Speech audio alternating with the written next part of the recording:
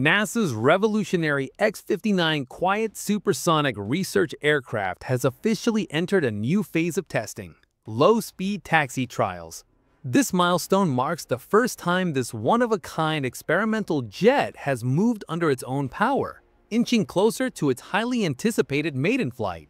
On July 10, 2025, the runway at U.S. Air Force Plant 42 in Palmdale, California, became the stage for a defining moment in aviation history.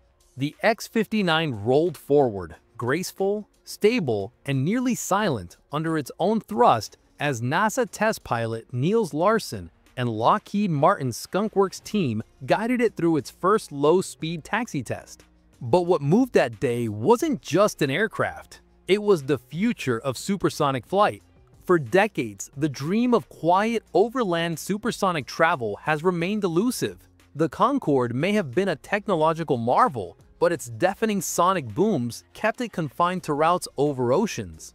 Regulations banned supersonic flight over populated land due to the disturbance it caused.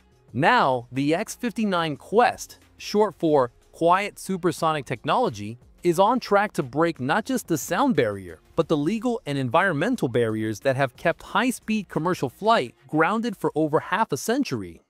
Developed under NASA's Quesst mission and built by Lockheed Martin, the X-59 isn't just an experiment, it's a flying revolution.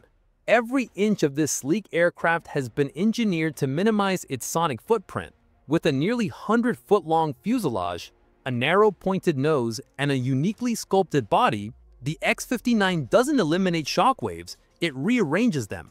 Instead of creating a sharp, window-rattling boom, the aircraft produces a gentle thump, projected at around 75 decibels, no louder than a car door closing from a distance. This makes it possible for supersonic flight to occur overland without disrupting communities.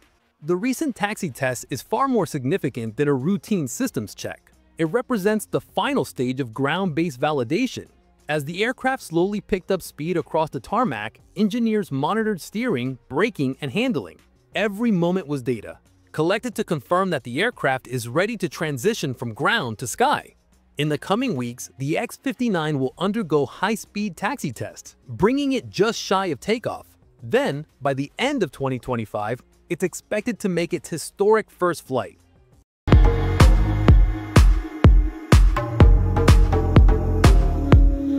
Let's talk specs. The X59 is powered by a single GEF 414 GE100 turbofan engine, the same core engine used in the US Navy Super Hornets.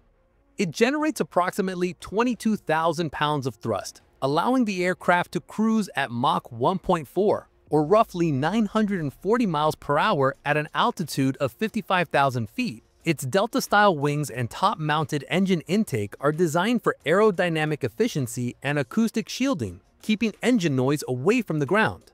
But perhaps the most futuristic feature is its cockpit. There's no forward-facing window.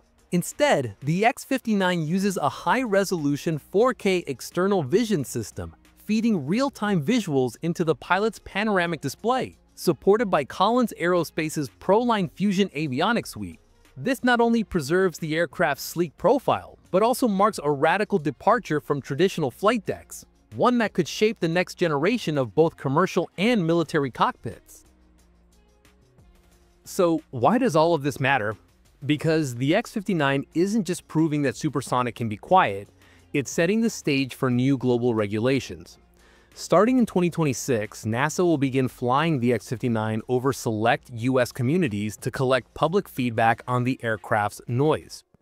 This data will be analyzed and submitted to both U.S. and international aviation authorities, including the FAA and ICAO, with the goal of updating current laws that prohibit supersonic flight over land. In other words, this plane isn't just flying, it's making policy. And while NASA insists that the X-59 is purely civilian, the implications for military aviation are undeniable. Mastering quiet supersonic travel opens new doors for stealth missions, rapid response aircraft, and next-gen command platforms. With its low acoustic profile, high speed, and advanced digital cockpit, the X-59's tech could be scaled or adapted for reconnaissance, executive transport, or high-speed ISR roles all without giving away position via sonic signature. In an increasingly competitive aerospace landscape, where China is experimenting with hypersonic drones and Russia boasts long-range strike aircraft, NASA's X-59 is an elegant counterpoint. It's not just fast, or quiet, or futuristic. It's strategic.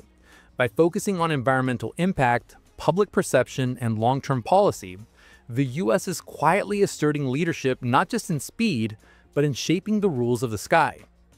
So, as the X-59 glides silently across the California desert, it carries more than fuel and instrumentation.